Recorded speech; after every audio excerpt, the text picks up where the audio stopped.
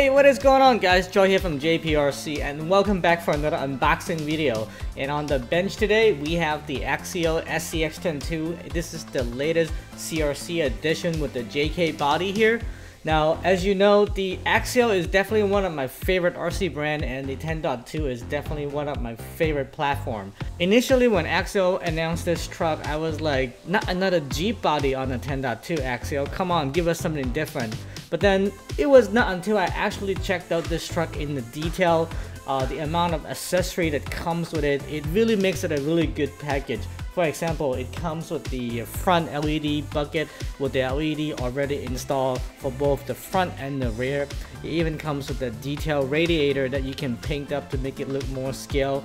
And not to mention that it comes with the molded wipers, the door handles, all those nice little touches. It all ultimately add up to what I think is a, a very good RTR package. In fact, I think this is one of the best looking RTR body that Axial has released yet.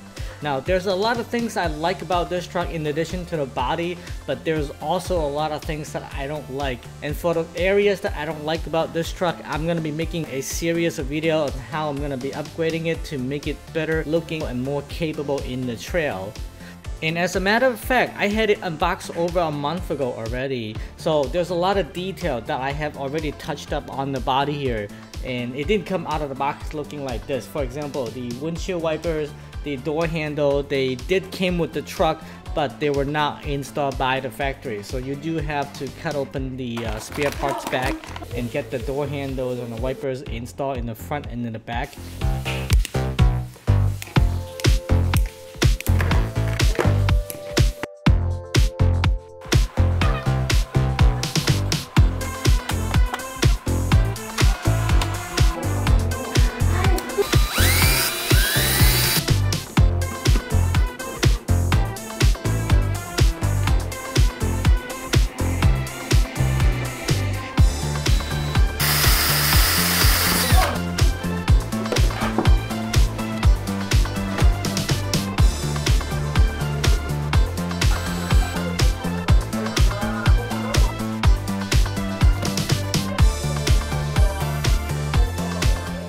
And overall, I think the red looks really good on the body. However, it didn't come with any backing color in there.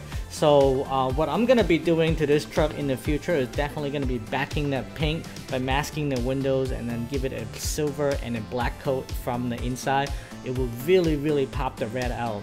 Now, as you can see in the back here, it's already got a spare tire uh, and these door panel line detailed up already which I'm gonna show you guys how to do that for very little money uh, in the next video. And of course once you take the body off the first most obvious upgrade you see is the gearbox. It is different than the kit version. It is different than the uh, XJ version of the 10.2.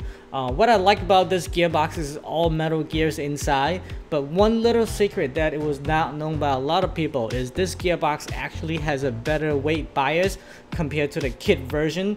Uh, when I had this on the scale, the weight up front is 53% as you can see, and the rear is 47%.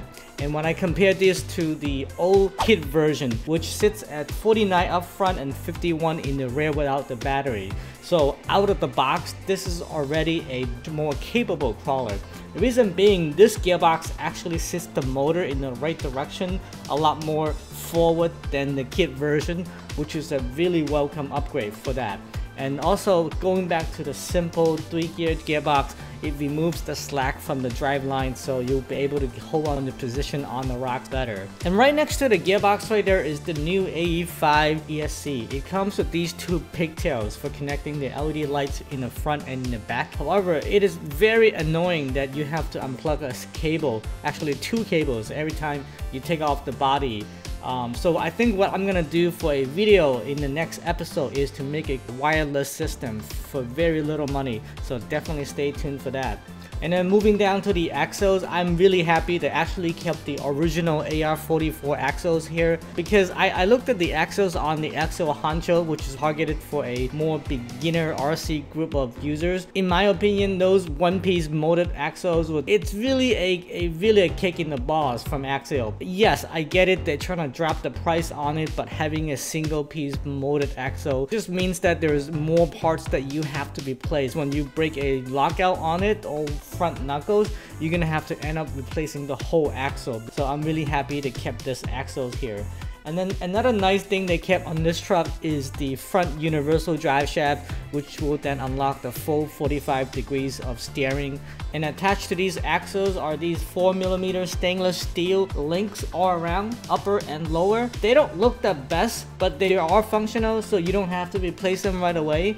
And moving right over to the tire, these are the Nitto licensed trail grabbers.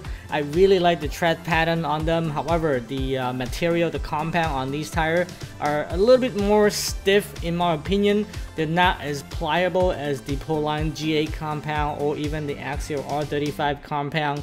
I think at this time the R35 version of the same tire are available right now.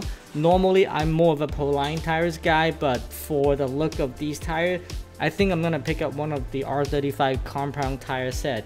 And moving over right next to the rock sliders right there, I really like the look too because they match up with the fender on the rear and in the front and they try to have this idea of this crease right here so that you can kind of tuck in your legs and body giving a little bit more support. I think it's a great idea but the execution is not the best because when I try to get the body on and off, I find that it's catching inside or outside of the rail more than anything. So I think I'm gonna have to come up with a better uh, improvement on that. So overall, I think this is a really great package from Axial if you don't mind the Jeep body. I mean, trust me, once you start looking into the fine details that Axial has put into this truck, you will start appreciating it and like it just like I do. And in addition, I think this is a better beginner's crawler because for that $80 difference, uh, more than the Honcho, you're getting a full complete upgrade in the drivetrain with the uh, right axles and the details on the body unless you're really going for the trucky look.